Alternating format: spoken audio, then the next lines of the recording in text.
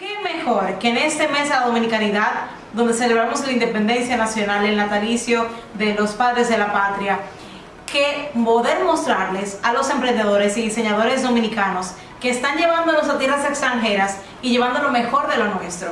Así es que estamos hoy mostrándoles la historia de una querida amiga diseñadora de modas y dedicada al beachwear o la ropa de playa con más de 10 años de trayectoria, pero desde el 2017 la marca hizo un cambio del cielo a la tierra. Carolina Socias, la propietaria de la marca CS Beachwear, va a contarnos su más reciente eh, colección inspirada en la República Dominicana. Bienvenida Carolina al Club de la Moda. Mariela, para mí siempre es un placer eh, estar contigo y verte que siempre estás apostando por nosotros. Amén, amén. Y tú sabes que ustedes siempre me llenan de alegría, siempre me llenan de, orgullo cada vez que puedo ver cada uno de sus trabajos.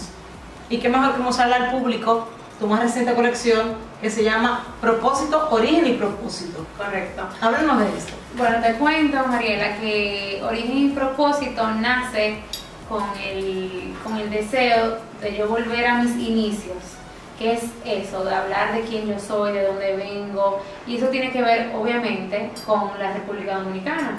Eh, sí, si bien es cierto, sí, mi mamá es colombiana y, tengo ese lado eh, bien latente, pero creo que hay mucho más que decir, que, que contar de República Dominicana eh, que de Colombia. Entonces, nada, en mi primera edición hablo sobre identidad y por eso obviamente sale a colación la muñeca sin rostro, porque la muñeca sin rostro de por, sí eh, resume eh, muy preciso y muy claro eh, cuando hablamos de identidad, esa mezcla cultural tan grande que tenemos.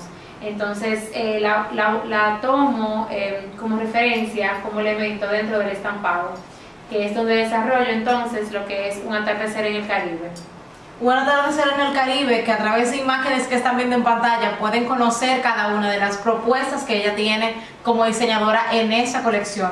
Que hablamos detrás de cámaras y me comentas que has tenido ya interacción con el Ministerio de Cultura que está avalando no solamente a los diseñadores dominicanos, que se están interesando en su identidad cultural, en quiénes somos. Entonces, ¿qué mejor nosotros que poder decir, esto es nuestro? No es solamente ir a verla en una tienda de gift, en un gift shop, en una tienda de regalos, cuando viene un, familiar de Estados Unidos o de otro país del mundo a querer llevarse un detalle. Entonces, cuando tú vas a una tiendecita, siempre ves las muñecas sin rostro. Pero quiero que tú nos cuentes la historia de ellas y que te involucraste tanto yendo a, Moca para que entonces lo conozcan. Te cuento, Mariela, que el proyecto del diseño, del estampado, yo lo quise llevar un poco más allá, por eso toqué las puertas del ministerio, donde ellos no, me acompañaron. Y fuimos y conocimos en Moca, eh, específicamente en el Iguerito, a esta comunidad de artesanas que desde hace ya, desde los 80, trabajan el, el oficio del, de la, del barro. Entonces la idea es que yo pueda hacer una residencia con ellas, donde tengamos este intercambio de ellas con su know-how de cómo se trabaja y yo con, un poco de aportarle a nivel de, diseño y de criterio para poder juntas elevar nuevamente y darle vida a la muñeca sin rostro. Y sé, y lo puedo decir públicamente, de que si ya es una responsabilidad eh, y, y, ya tienes el compromiso de poder elevar esta dominicanidad a través de la muñeca sin rostro, eh, las muñecas sin rostro, las muñecas sin rostro se van a volver tendencia. Ojalá. Con Dios mediante. Así que los invitamos a ustedes a que busquen cada una de las piezas de esa colección que se llama Origen y Propósito y que ustedes se pueden encontrar en la cuenta de Instagram de Carolina Socias, de CS Beachwear y también pueden realizar sus pedidos tanto nacionales como internacionales. Te enfocas en el área del beachwear, de la ropa de playa. ¿Qué le dirías a esos jóvenes que quisieran definirse por solamente un área, así mismo como tú. Yo pienso que realmente, como todo en la vida, no, uno no puede querer acaparar todo. Uno debe de empezar eh, con algo y desarrollarlo, porque eso te va a ir llevando a otras cosas. Pero uno no puede querer ser sombrero, zapatos, eh, pantalones, porque la verdad es que no es real. Porque tú llevar un producto a un nivel em, que compita con otras marcas toma tiempo. Al igual que como siempre digo, señores, eh, los diseñadores no llegan donde están de la noche a la mañana, o sea, todo tiene un proceso y ese proceso es necesario. O sea que yo siempre digo, enfócate en algo y ahí ser mejor. Qué bueno, qué bueno. Esta nueva generación de diseñadores, que incluso ya Mónica ha podido conocer su historia de Mailé y próximamente Manly con la marca Distrito 79.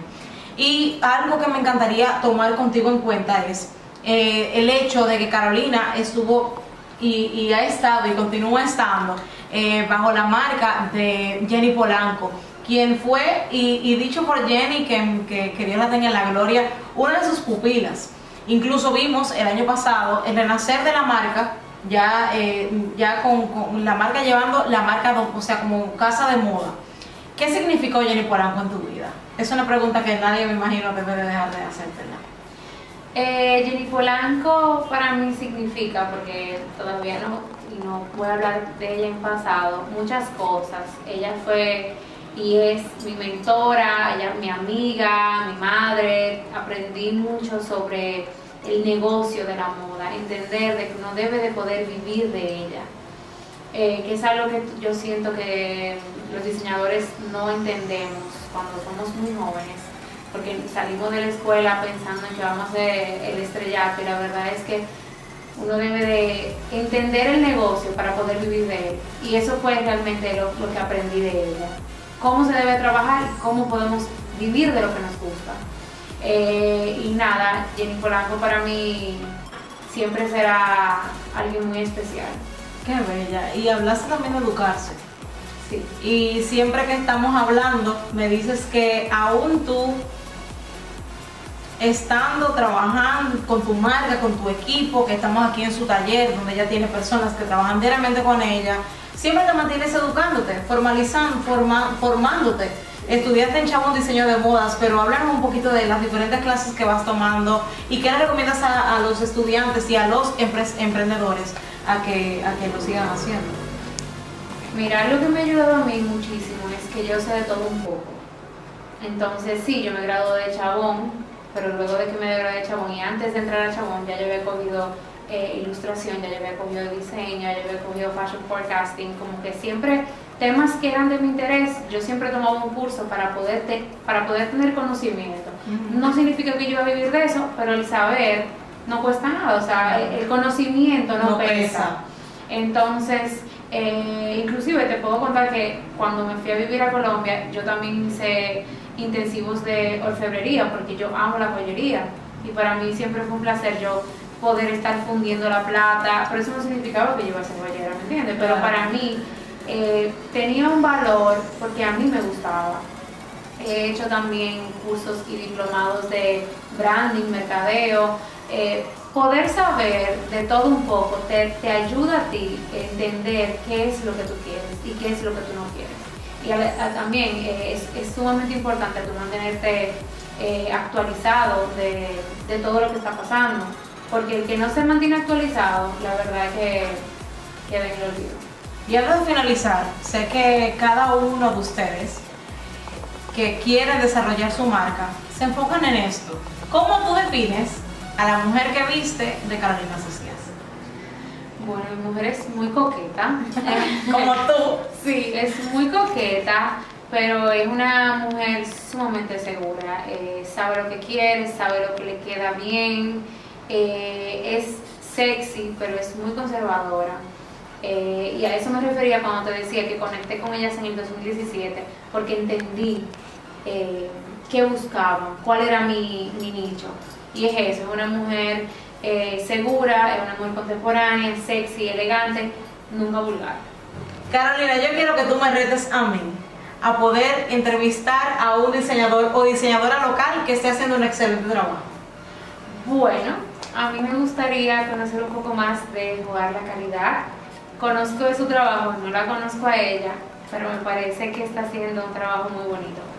Yo te quiero agradecer por estos minutos y qué bueno que, que, tenemos esta oportunidad para que cada uno de ustedes puedan conocer la historia de emprendedores, de diseñadores de moda y que asimismo puedan regar la voz, puedan consumirla y llevar en alto nuestra República Dominicana. Esas bufandas esa que tenemos aquí, ustedes mismos lo pueden conseguir y apoyar porque esto es no solamente una bufanda, sino una bufanda con historia que es lo más importante. Te invitamos a que sigas apoyando a cada uno de los talentos dominicanos y que también puedas jugar con tu, con tu bufanda, así como yo le estaré haciendo ahora mismo en un TikTok. No se lo pierdan. Muchísimas gracias, Carolina. Gracias a ti, María.